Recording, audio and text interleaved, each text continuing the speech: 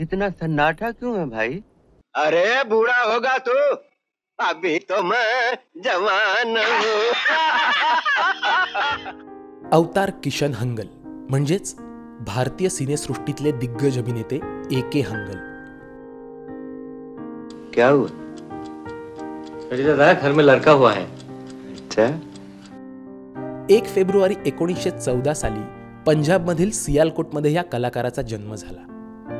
वयाच्या बावन्नाव्या वर्षापर्यंत त्यांनी रंगभूमी गाजवली. आपने तो बुलाया था?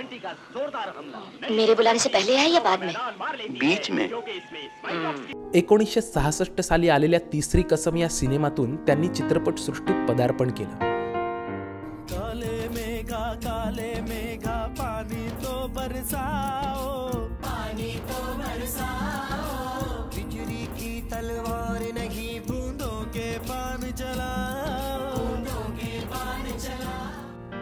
भारतातल्या अजरामर जातीवंत अभिनेत्यांपैकी एक अभिनेता. म्हणून त्यांचा उल्लेख केला तर वावगं ठरणार नाही. पण त्याहीपेक्षा त्यांची महत्वाची ओळख होती ती म्हणजे एक स्वातंत्र्य सेनानी म्हणून. एकोणीसशे एकोणतीसपासून एकोणीसशे सत्तेचाळीस पर्यंतचा काळ त्यांनी स्वातंत्र्य लढ्यात घालवला. भारतीय चित्रपटसृष्टीचा सुवर्ण काळ घडवणाऱ्या या कलाकाराला दोन हजार सहा साली पद्मभूषण पुरस्काराने गौरवण्यात आलं. अभिमान अवतार नमक हराम शोले लगान या आणि अशा दोनशेहून अधिक सिनेमांमध्ये त्यांनी काम केलं. मोठ्या पडद्याप्रमाणेच लहान पडद्यावर सुद्धा त्यांनी आपल्या कामाची छाप पाडली.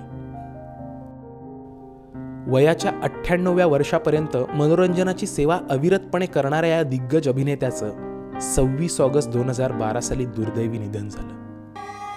जानते हो दुनिया का सबसे बड़ा बोझ क्या होता है? बाप के कंधों पर बेटे का जनाजा।